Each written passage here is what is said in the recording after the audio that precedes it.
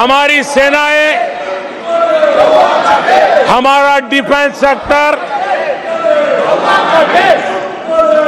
आज़ादी के बाद इतने सालों में जितना नहीं हुआ। इतने रिफॉर्म हो रहे हैं। हमारी सेना को आधुनिक बनाया जा रहा है। हर चुनौती को हमारी सेना मुँह तोड़ जवाब दे सके।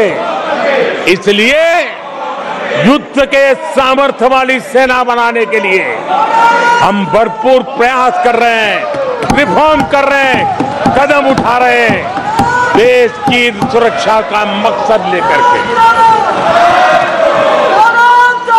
बीते कुछ सालों में बहुत सारी चीज़ें बदली है। सीडीएस का पद बनने के बाद इंटीग्रेशन और सशक्त हुआ है। आदरणीय सभापति जी, हमारी सशस्त्र सेनाओं के बीच, उनके सहयोग से, जो लंबे समय से युद्ध शास्त्र के निष्णातों का मत था कि भारत में थिएटर कमांड ज़रूरी है।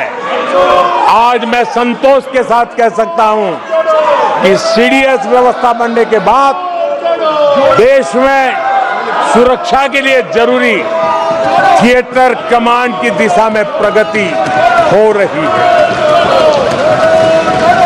आदरणीय सभापति जी, आत्मनिर्भर भारत उसमें हमारी सेना को आत्मनिर्भर बनाना, उसकी भी बहुत बड़ी महत्वपूर्ण भूमिका निभाई जा रही है। हमारी देश की सेना युवा होनी चाहिए। सेना दुश्मनों के दांत खट्टे करने के लिए होती है। हमें हमारे युवाओं पर भरोसा होना चाहिए। सेना में युवाओं की ताकत बढ़ानी चाहिए। और इसलिए हम लगातार युद्ध योग्य सेना बनाने के लिए रिफॉर्म कर रहे हैं। समय पर रिफॉर्म न करने के कारण हमारी सेना का बहुत नुकसान हुआ है।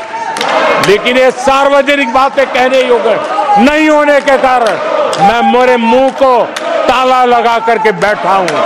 आदरणीय सभापति जी देश की सुरक्षा एक गंभीर मसला होता है।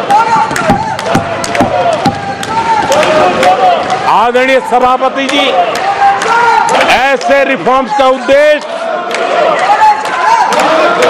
हाँ, किसी भी परिस्थिति में अब युद्ध के रूप बदल रहे हैं संसाधन बदल रहे हैं शस्त्र बदल रहे हैं टेक्निक बदल रही है। ऐसे में हमें हमारी सेनाओं को उसी चुनौतियों के अनुरूप तैयार करना, ये बहुत बड़ी जिम्मेवारी होती है जिसको निभाने के लिए।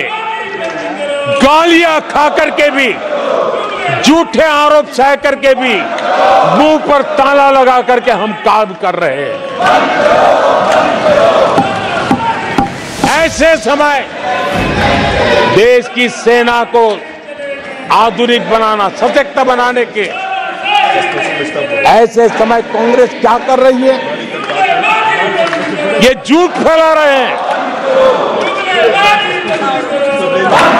डिफेंस रिफॉर्म के प्रयासों को कमज़ोर करने का सरल कर रहे हैं। आदरणीय सभापति जी, दरअसल कांग्रेस के लोग कभी भी भारतीय सेनाओं को ताकतवर होते नहीं देख सकते। आदरणीय सभापति जी, कौन नहीं जानता कि नेहरू जी के समय देश की सेनाएँ कितनी कमज़ोर होती थी। हमारी सेनाओं में कांग्रेस ने जो लाखों करोड़ों के घोटाले किए। वही तरीका था जिस तरीके ने देश की सेना को कमज़ोर किया है।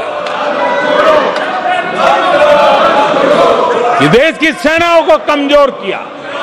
जल हो, थल हो, नभ हो, सेना की हर आवश्यकता में। इन्होंने देश आज़ाद हुआ तब से भ्रष्टाचार की परंपरा बनाई। जीप घोटाला हो, पनडुब्बी घोटाला हो, बोफोर्स घोटाला हो, इन सारे घोटालों ने देश की सेना की ताकत को बढ़ने से रोका है। वो भी एक वक्त था आदरणीय सभापति जी। कांग्रेस के जमाने में हमारी सेनाओं के पास बुलेट प्रूफ जैकेट भी नहीं हुआ करते थे।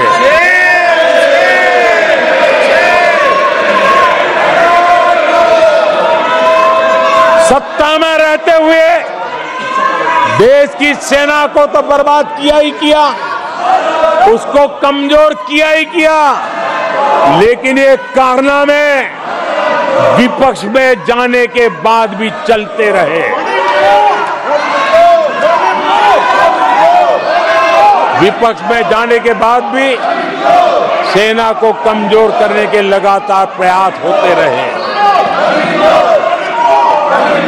जब ये कांग्रेस सरकार में थे तो फाइटर जेट नहीं लिए। और जब हमने कोशिश की तो कांग्रेस हर तरह की साजिश पर उतर आई। फाइटर जेट एयरफोर्स तक न पहुँच पाए इसके लिए साजिशें की गई। और आदरणीय सभापति जी ये बालक बुद्धि देखिए कि राफेल के छोटे छोटे खिलौने बना करके उड़ाने में मज़ा लेते थे, देश की सेना का मज़ाक उड़ाते थे। अध्यक्ष जी, कांग्रेस ऐसे हर कदम का हर रिफॉर्म का विरोध करती है, जो भारत की सेना को मजबूती दे, भारत की सेना को मज़बूत बनाए। मान्य सदस्यों, सभा की कार्रवाई, माननीय प्रधानमंत्री जी के भाषण